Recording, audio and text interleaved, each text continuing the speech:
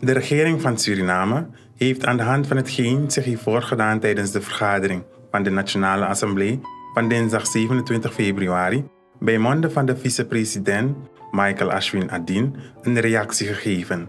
Uw aandacht voor deze reactie.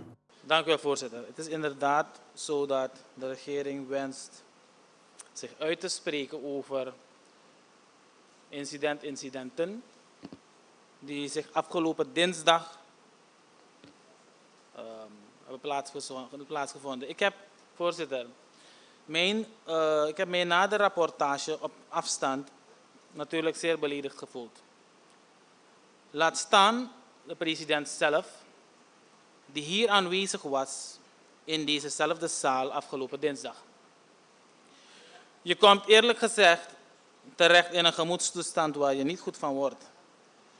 Ieder in deze zaal weet, als men oprecht is, hoe deze, misschien is het zo dat voor het moment, met alle respect, we titulatuur en superlatieven weglaten, dat deze man, deze man onvermoeibaar is. En zich uitput en uitslooft om het werk te doen dat nodig is. Zien wij dat of alleen wat fout gaat buiten hem om, is dat alleen zichtbaar. Um,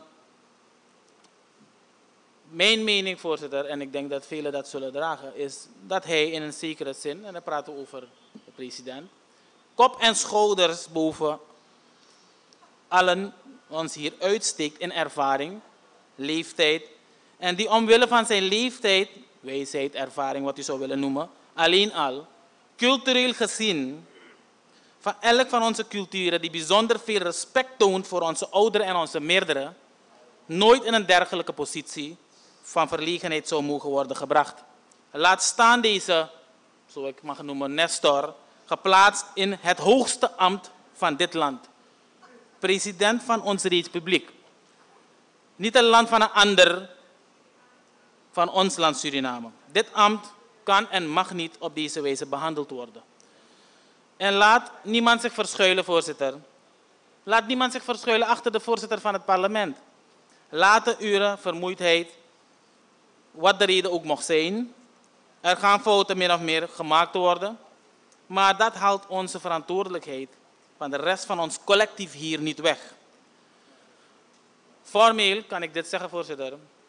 De president en zijn regering wordt dan ook geen andere keuze gelaten dan zich te distancieren, en dat is ook gebeurd, zodat ruimte geboden wordt voor verbetering in de omgangsvormen. Omgangsvormen die helaas afgegleden lijken te zijn naar een nieuw normaal. Afgegleden tot regressieve vormen, wangedrag en oneerbiedig gedrag. De regering stelt zich hierboven en blijft zich beijveren in het geven van het goede voorbeeld in het belang van land en volk.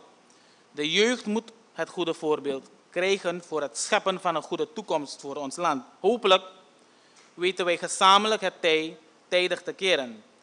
Wij blijven als regering ons ten alle tijden op een correcte manier kwijten van onze grondwettelijke plicht tot het afleggen van verantwoording aan uw hoog college. Mevrouw de voorzitter en ik dank u. Voorzitter, dank u wel. Ik wil slechts erkennen het lid B gezegde reflectie, zelfreflectie. Goed. Laten we beëveren dan die zelfreflectie te doen.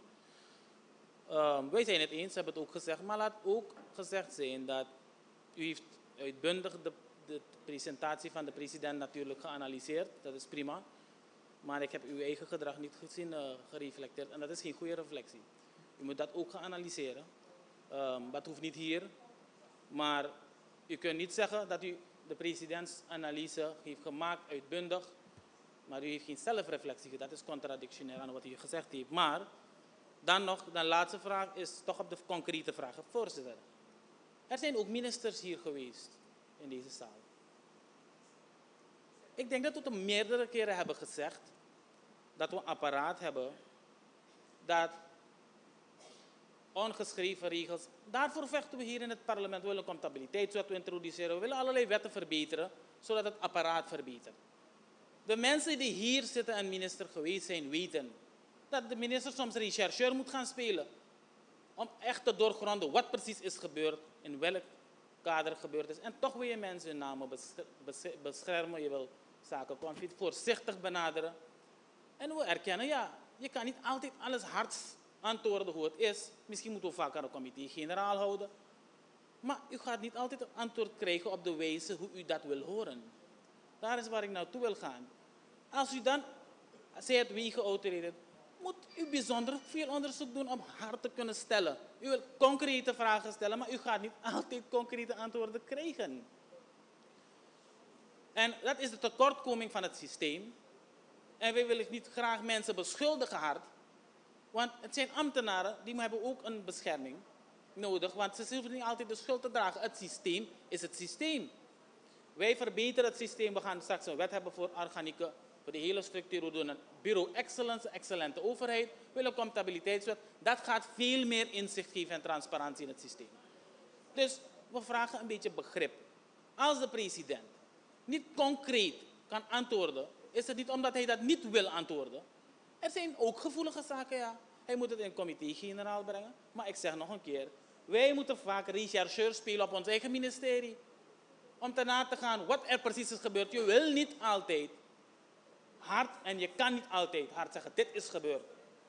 Anders zou er geen klad bestaan, anders zou geen OM bestaan om dat goed uit te zoeken. Dus we gaan er naartoe werken, voorzitter. Inderdaad, zelfreflectie. U heeft gelijk. Laten we dat gezamenlijk betrachten. Maar laten we ook begrijpen dat we een differentiatie moeten maken. Want het gaat om de antwoorden.